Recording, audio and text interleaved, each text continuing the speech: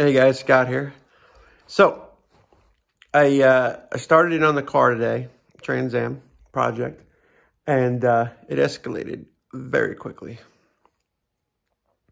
Trying to fix three things at once because they're in my eyesight. So, and I think I did a pretty good job so far. But now comes the moral question, the moral code. What would you do? I know what I would do, and I know what I'm gonna do. But so it goes when you're doing rust repair or restoring a car, right?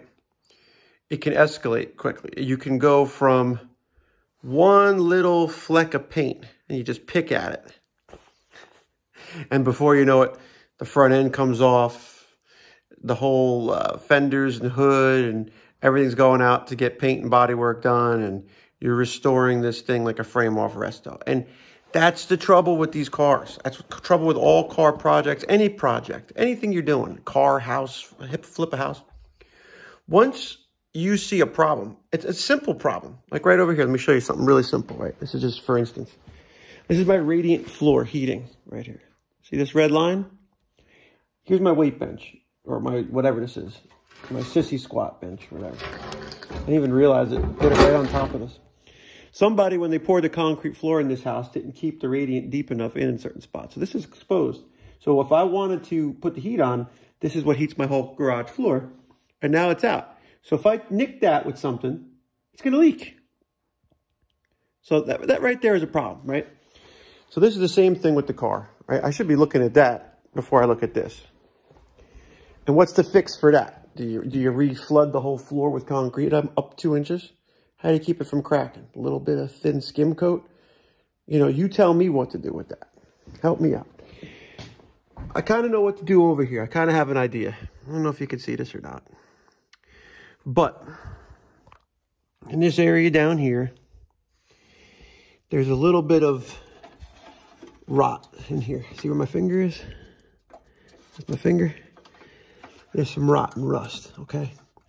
Now, aesthetically, right? If I'm going to change, if I'm going to sell the car, I could put the new package tray in here. I should say the new battery tray in here. Nobody will ever know. Nobody will ever know. They'd have to lay down under the car, look in the front, look underneath. And odds are you got about an hour and a half when you're looking at a car. They're probably going to move on with their day and say, all right, like, let's buy the car. Let's not buy the car. They're not going to not buy the car for that issue. But it's an issue. And the reason why it's an issue is this is a structural body mount. We know that. I talked about that the other day. Thing's in way.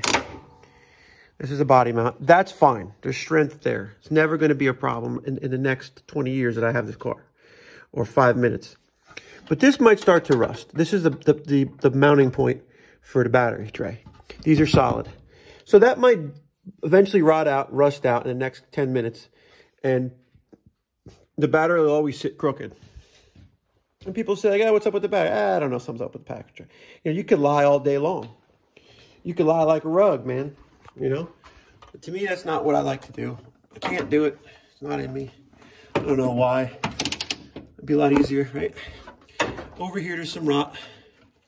This doesn't really matter as much. This is a structural piece. That's good. It's solid. I hit it with my chipping hammer, and I flaked off all the old junk, and it's it's solid. It's holding up the cross member, or it's holding up the, the radiator support.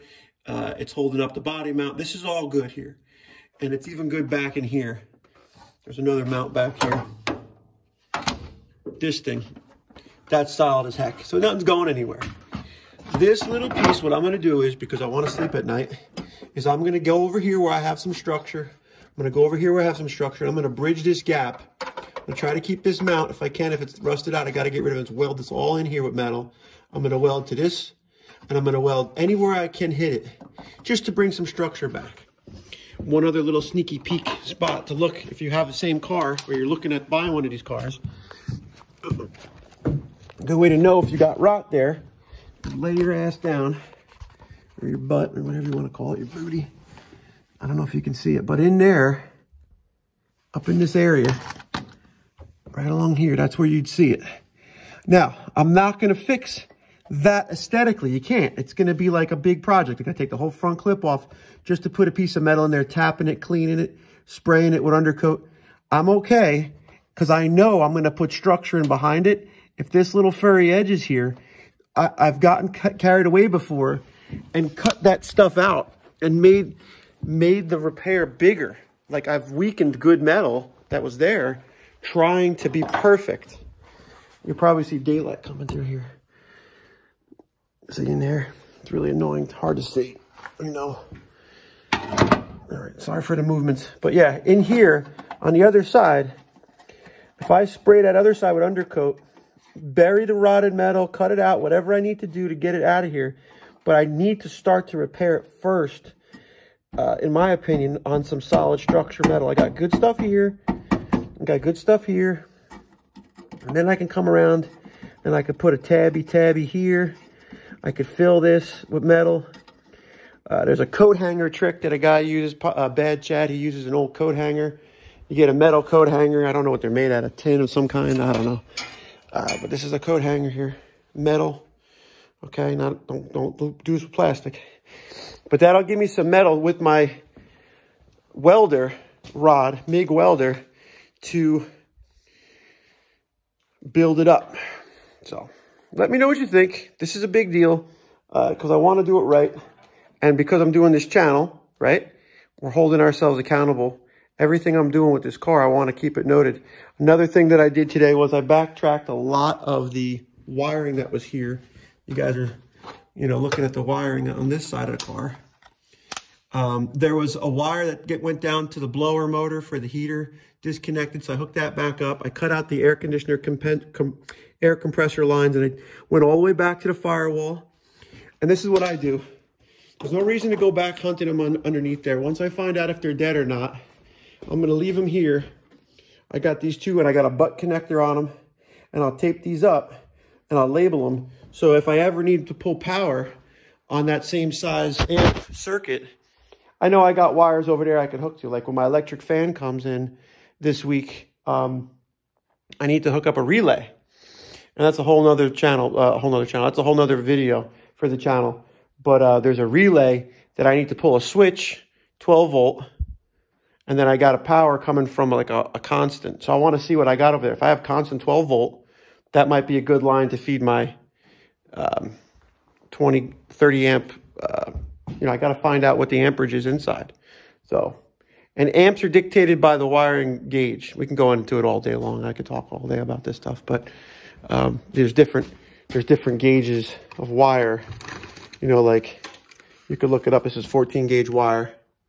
You know, 14 gauge, and it's rated for a certain amount of amps for the circuit. If not, the wire melts before the fuse breaks.